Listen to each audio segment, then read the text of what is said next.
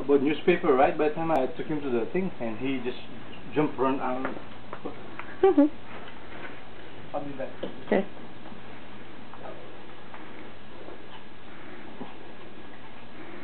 You want to pay too? Let me to you?